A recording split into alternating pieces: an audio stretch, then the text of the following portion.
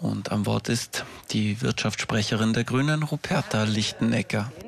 Sehr geehrter Herr Minister, werte Kolleginnen und Kollegen, ähm, zum Antrag zur Stärkung der Staatskommissäre nur Folgendes. Äh, Herr Kollege, wir erleben bei diesem Antrag eine äh, seltsame Mobilisierung der Lebensgeister von ÖVP und SPÖ, nämlich das abzulehnen, statt dass äh, die Lebensgeister äh, darauf konzentriert werden, die Schwärzung der Akten, die im HypoU-Ausschuss geliefert werden, zu verhindern.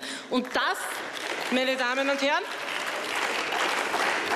das ist in dieser Form nicht nachvollziehbar und offen gesagt ob das ein kluger Schritt ist, sei wirklich dahingestellt.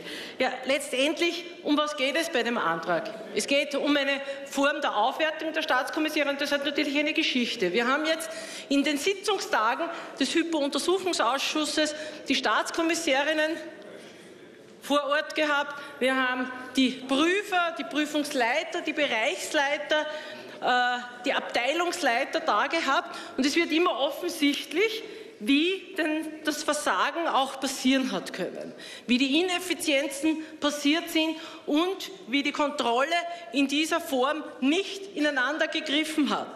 Ja, natürlich, die Staatskommissäre sind ein Baustein der Kontrolle und der Aufsicht.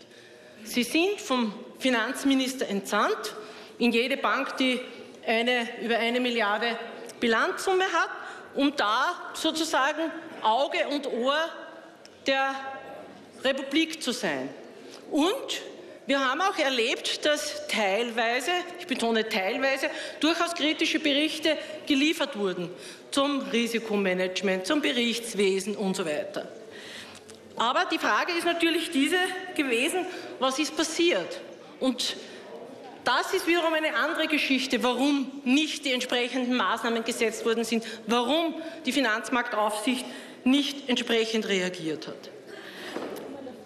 Aber eines wurde klar, so wie es war und wie es ist, ist es ineffizient, wenn die rechte Hand nicht weiß, was die linke tut.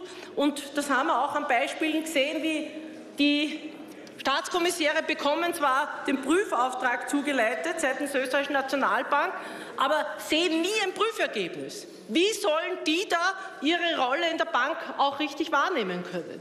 Das ist ein schweres Versagen in dieser Form, das auch ein kleiner Baustein war.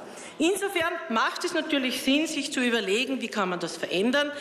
Und äh, bei allen sozusagen Punkten, die unter Umständen verbesserungswürdig sind in diesem Antrag, ist dieser Antrag als erster Schritt zu sehen und in dieser Form auch zu unterstützen und zu schauen, wie kann man das machen. Nichtsdestotrotz ist klar, wir brauchen eine gesamte Strategie. Es geht um den verantwortungsvollen Umgang in den Banken, aber selbstverständlich auch mit Steuergeldern. Wir dürfen nicht vergessen, wir haben am Finanzskandal in Salzburg, wir haben einen Swap-Skandal in Linz, wir haben Frankenspekulationen in den Kommunen.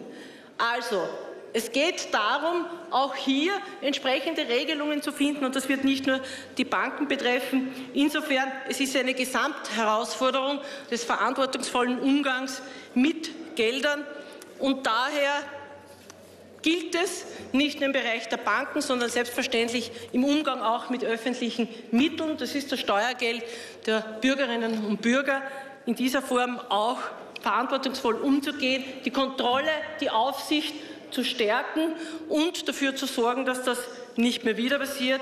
Insofern ist es klar, dass jetzt im Hypo-Untersuchungsausschuss möglichst gut gearbeitet werden soll und werden kann.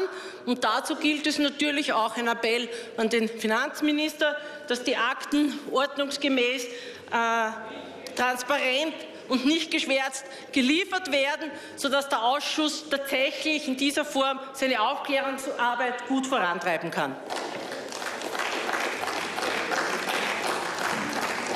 Sagt Ruperta Lichtenecker, die Wirtschaftssprecherin der Grünen.